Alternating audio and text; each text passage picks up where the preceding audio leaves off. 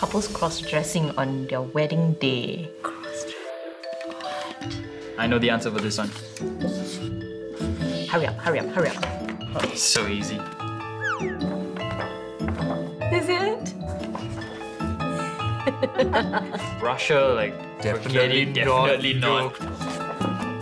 A lot of bizarre stuff happens in Rajan. So it's between Denmark and Croatia, but um, I would have to say Croatia. What? I have no idea. Denmark. Denmark. Oh, Denmark. Really?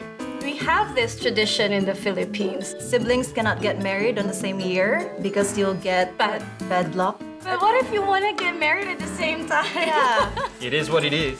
I mean, okay, okay, this is a tradition. Yeah, this this is- is a tradition. Oh, what? Oh, yeah. It's an interesting tradition. Okay. Oh. Cool.